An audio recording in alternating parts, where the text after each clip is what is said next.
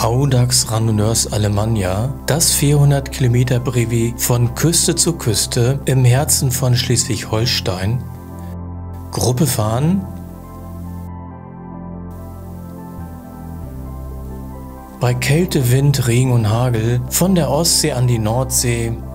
Komm mit, sei dabei. Faszination Brevet fahren, das ist Audax. Willkommen, hier ist Guido der Radwanderer mit dem letzten und dritten Teil von der 400 Kilometer Tour von Küste zu Küste. Im ersten Teil sind wir ja von Kiel nach Glücksburg hochgefahren. Zweiter Teil war dann von Glücksburg über Husum runter nach Meldorf. Und nun geht es von Meldorf so langsam in den Abend und in die Nacht rein nach Bad Bramstedt, dann hoch Richtung Norden über Preetz dann nach Kiel zurück.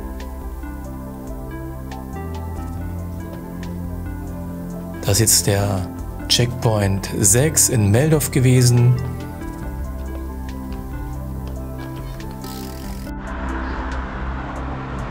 Oh, das hat leider nicht geklappt mit dem Empfang.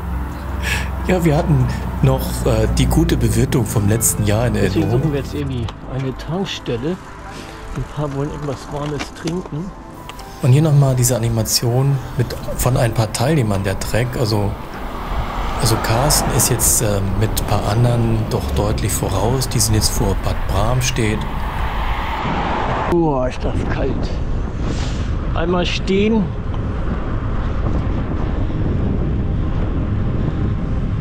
Dann dauert das erstmal einen Augenblick, bis man wieder warm ist.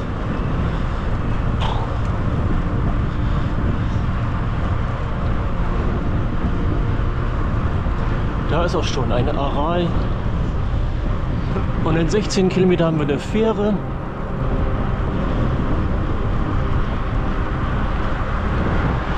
Und da geht es jetzt nach Bad Bramstedt. 260 Kilometer haben wir. Bad Bramstedt ist bei 330. Also knappe 60.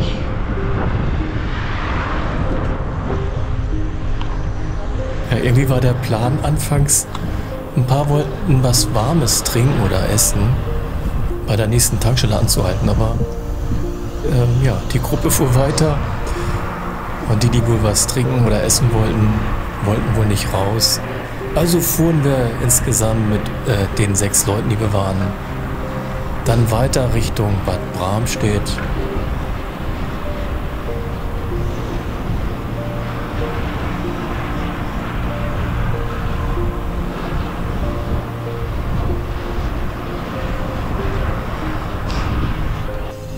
Es ging erstmal wieder Richtung Kanal.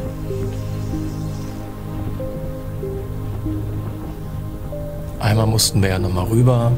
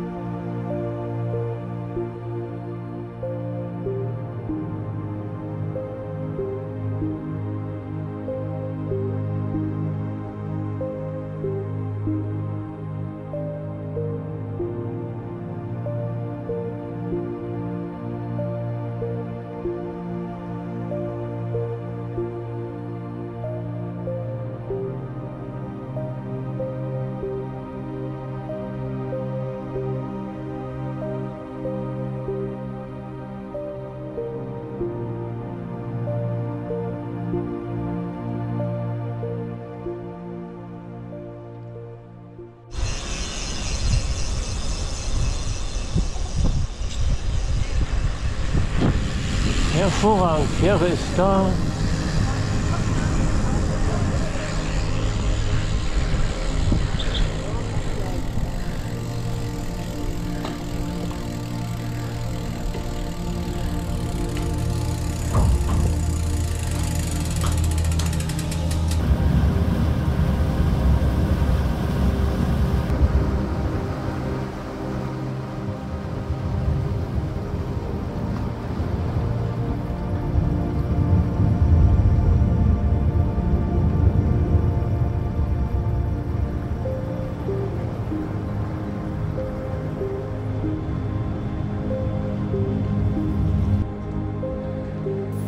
Und so ging es dann noch einmal in Abendstimmung über den Kanal.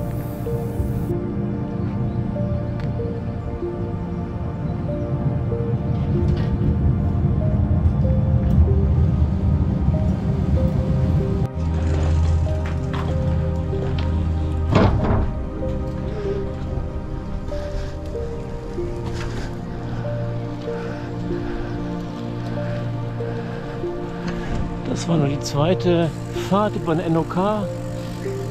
Jetzt haben wir genau 20 Uhr.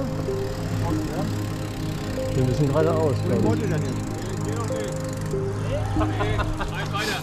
Und laut Regenreiter haben wir eine Stunde trocken und dann, dann soll der Regen auch für uns kommen, obwohl es hier schon geregnet hat. Die Straße ist pitschenass. Ich weiß nicht, ob die Gruppen vor uns hier schon nass geworden sind.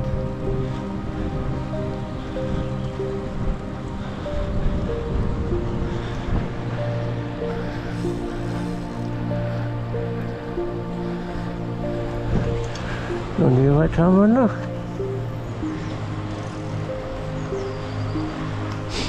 Fünfzig Kilometer noch. Und dann gehen wir wieder Richtung Norden.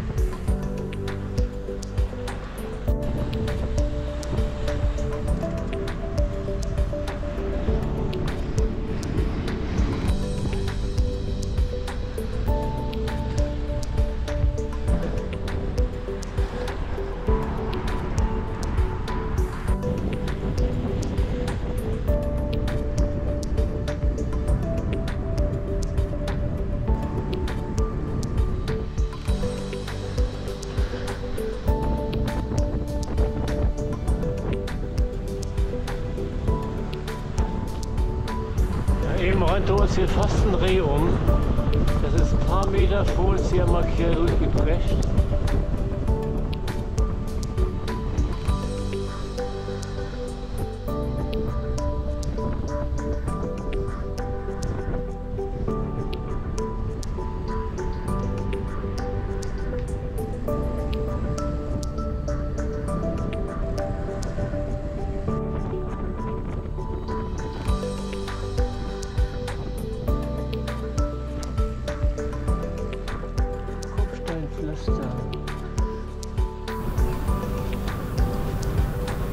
So langsam wurde es dann immer dunkler.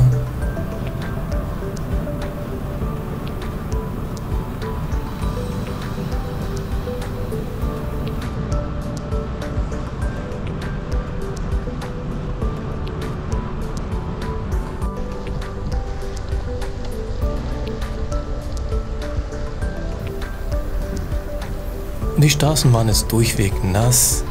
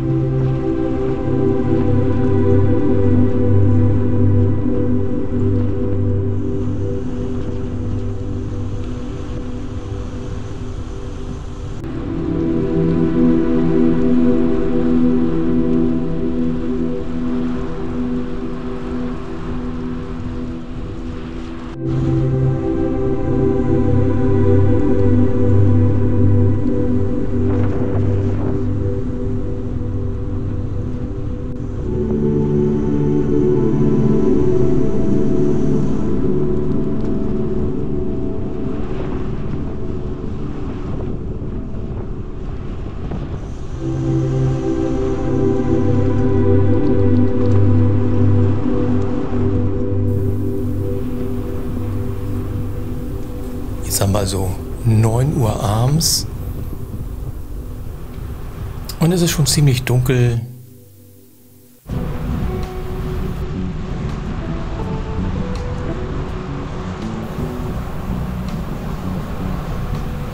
Aber die Straßen, auf denen wir unterwegs sind, sind also autoleer. Wir sind da ganz allein unterwegs. Ja, einer hing ein bisschen hinterher. Du, komm, du kommst noch gut mit oder hängst du hinter am Limit, ne? Ja, ja.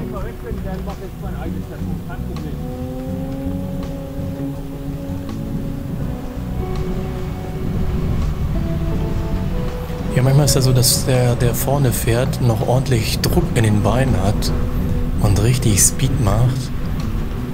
Und ein anderer dann aber doch schon ziemlich am Ende ist mit seinen Kräften. Sodass dann oft immer das Kürzer-Kürzer-Gerufe losgeht. Und da hatten wir uns dann einmal gesammelt, dass wir wieder zusammen sind. Und der Speed so ein bisschen runterkommt.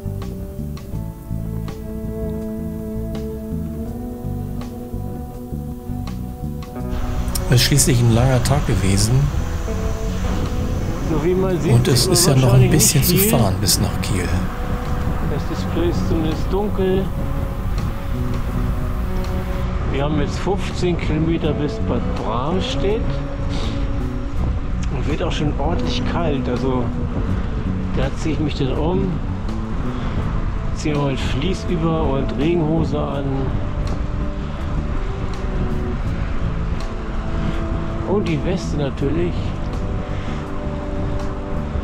Hätte ich vielleicht früher machen sollen. Aber hier ist nichts los auf den Straßen, also wir haben lang kein Auto mehr gesehen.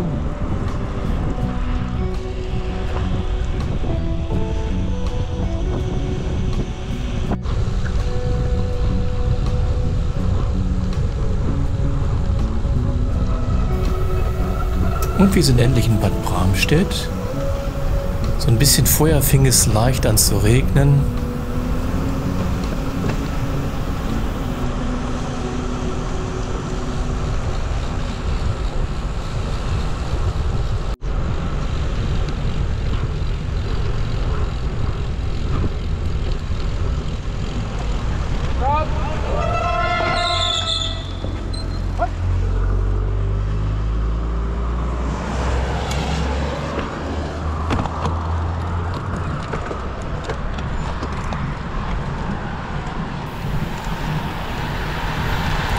6 bei Kilometer 330.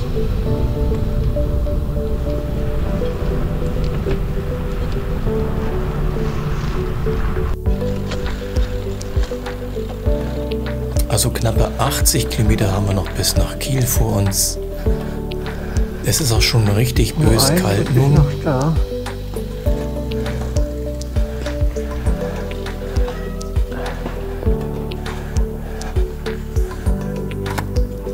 Können Sie die Uhrzeit noch dazu schreiben? Ja, mal so kurz nach 10 Uhr in der Nacht oder am späten Abend sind wir da angekommen. Also wir haben da auch ein bisschen gesessen diesmal in der Tankstelle. Ich habe aber nicht mehr ganz so viel gefilmt. Ich war damit beschäftigt, mich nochmal umzuziehen. Also ich hatte einen Fließpullover mit. Schnell angezogen, also mich halb umgezogen. Und dann mich ein bisschen regendicht gemacht. Hat auch wieder meine Plastiktüten da innerhalb der Schuh drin reingesteckt, dass die Socken trocken bleiben oder dass ich das hoffe.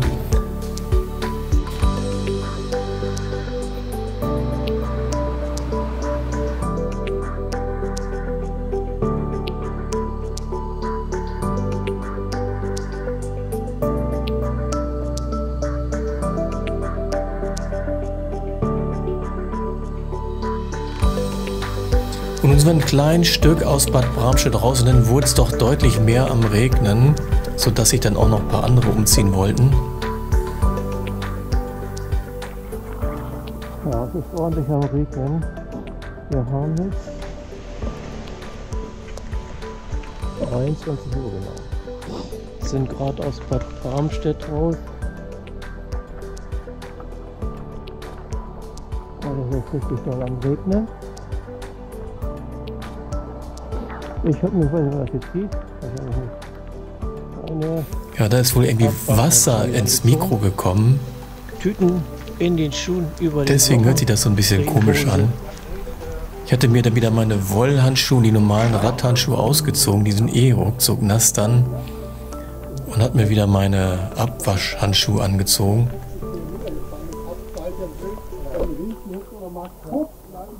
Dass ich zumindest nicht so ganz so doll den kalten Wind an der, an der nassen Hand habe.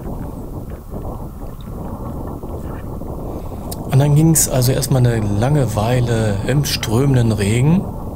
Bei mittlerweile so zwei Grad hatten wir, glaube ich.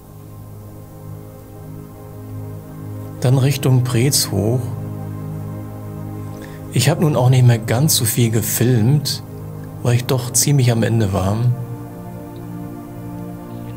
Hier sieht man nochmal Carsten mit äh, dem Trupp, mit dem er unterwegs war, wieder ein bisschen vorweg. Und wir hinterher.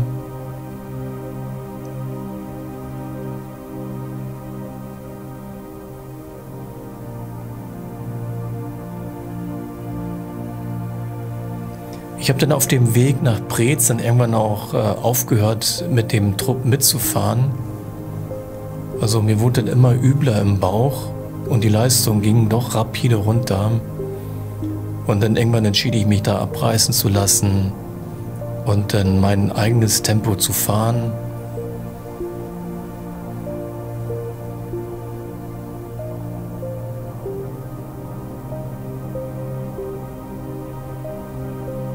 Ein weiterer Teilnehmer ist in der Tankstelle in Bad Bramstedt geblieben. Der wollte da noch ein bisschen ausruhen, sodass wir jetzt also zu fünf sind und ich die vier dann irgendwann alleine weiterfahren lasse. Und ich werde sie dann in Preetz wiedersehen am letzten Checkpoint vor Kiel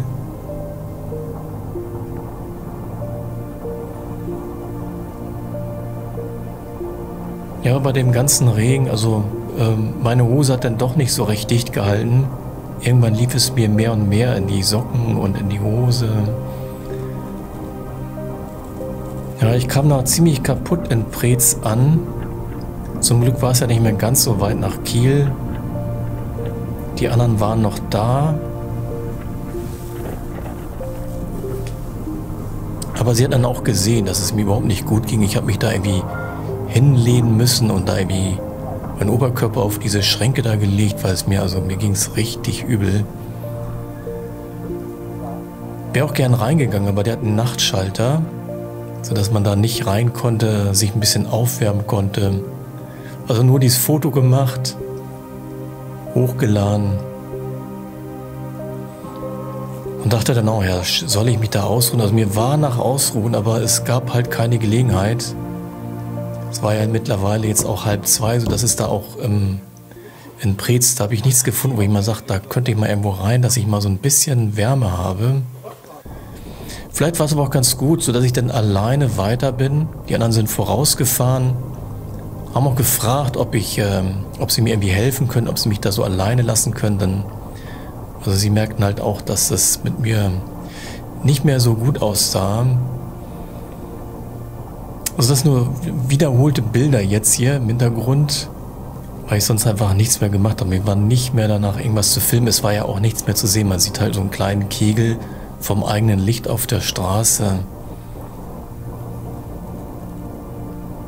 Und so habe ich mich dann doch ziemlich bis nach Kiel gequält, muss man schon sagen.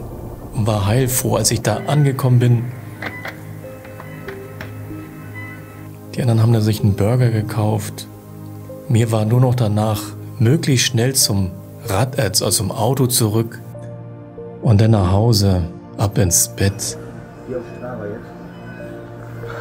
Aber ein Kollege, der da eben saß, der sagte auch, das war so mit, also wirklich ein sehr, sehr hartes Brevet. War wirklich sehr anstrengend. Also da war ich wohl nicht der Einzige, dem es so ging. Der hat längere Zeit auf ein Taxi gewartet, weil er irgendwie die sieben Kilometer zum Auto nicht mehr fahren wollte. hier nochmal die Bilder, die ich dann überall an den Checkpoints gemacht habe mit den Durchfahrtszeiten, die ich hatte.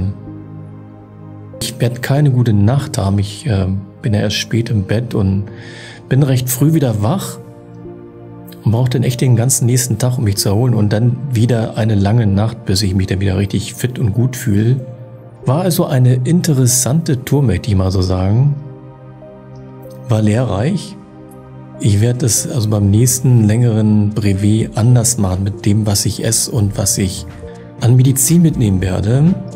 Mache ich dann mal ein kleineres Video von. Also bis zum nächsten Video. Schönen Dank fürs Zuschauen. Macht's gut.